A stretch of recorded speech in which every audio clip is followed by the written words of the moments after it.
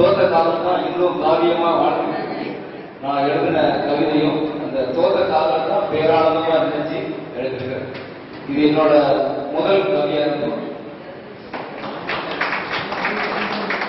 தலைப்பு காதலும் பேரானந்தம்.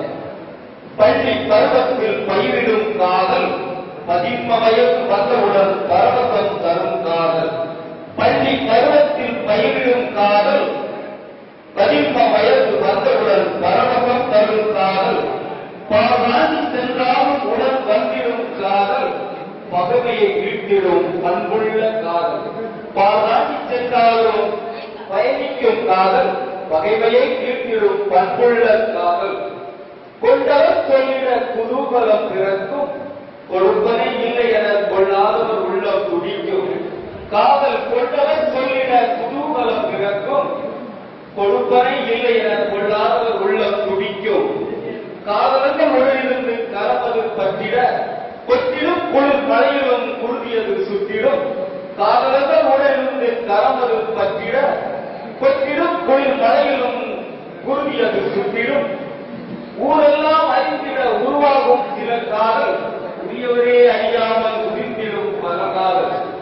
ஊரறிய ஊரறி ஊரெல்லாம் அறிந்திட உருவாகும் சில காதல் உரியவரே அறியாமல் உதிர்ந்திடும் பல காதல். காதல் இணைந்திட காலமெல்லாம் ஆனந்தம் கரை சேராத காரிய காதலே பேரானந்தம் காதலர்கள் இணைந்திட காலமெல்லாம் ஆனந்தம் கரை சேராத காரிய காதலே பேரானந்தம் காதல் கொள்ளாதவர் கோழியில் யாரும் உண்டோ? சொல்லாமல் மறைத்தாலும் உள் உருத்திடும் கண்டோர் காதல் கொள்ளாதவர் கோழியில் யாரும் உண்டோ? சொல்லாமல் மறைத்தாலும் உள் உருத்திடும் கண்டோர்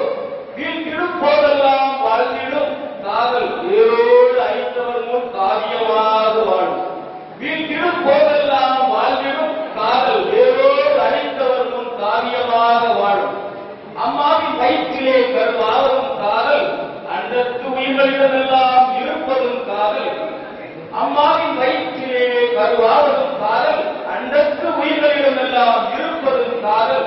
எப்பொருள் வீதியிலும் வந்திடும் காதல் ஏழை பணக்காரன் பார்க்காத காதல். எப்பொருள் வீட்டிலும் வந்திடும் காதல் ஏழை பணக்காரன் பார்க்காத காதல். காதலால் சேர்ந்திடும் புது புது சொந்தம் காதி மதம் கடந்ததை காதல் என்னும் சொந்தம். கற்பனை